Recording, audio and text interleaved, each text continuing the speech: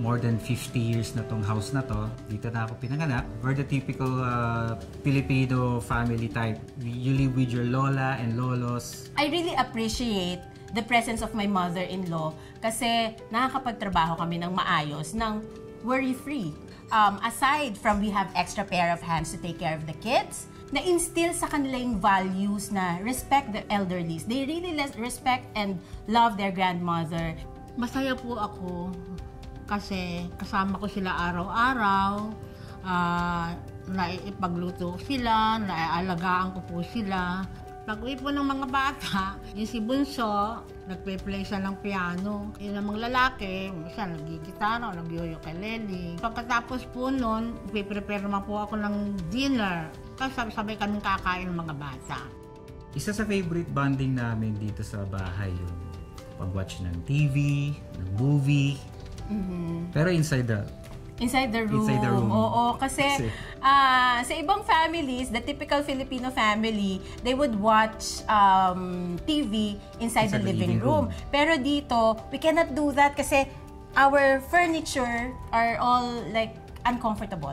Walang- Matigas siya, walang, hindi siya cushionated and we cannot do anything about it kasi yung si mami nga, Nire-request nga po nila na medyo mar- ma-renovate itong bayan para maging medyo modern.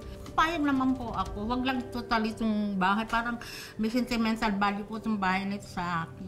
Pati yung mga furniture na lang dito. Siyempre, hanggang gusto ko, hanggang buhay ako, eh, I love this house very much. she has a lot of good memories no dito sa house na to like family memories. We asked her to like if we can renovate the kitchen. Ayun pumayag naman siya. Pero it has to be done in such a way na match dun sa sa pagiging luma. Instead of putting like modern modern cupboards yung lu- lumang style pa rin yung nailagay namin. But hopefully sooner or later we can really renovate the house into a modern one. And Yeah, why not? Mhm. ikaw ang mag-ano sa mami mo. Mag- Ako magsasabi. Ikaw ang magsabi. Para sa akin, yung pinaka nafe-feel ko na at home ako dito sa bahay na to is sa dining area kasi dito talaga yung bonding place namin. Uh, we enjoy the the food that Yeah. my mom serves to us. Natutuwa po ako talaga na ang mga apo ko'y kasama ko, kasama ko rin bunso kong anak, si manugang ko. Talagang close na close po ang aming family.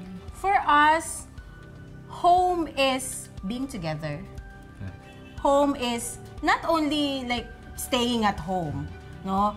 Kung lumabas man kami or kahit nasan man kami, as long as we are together, my children, my husband, uh, my mother-in-law, as long as all of us are together, we call it home.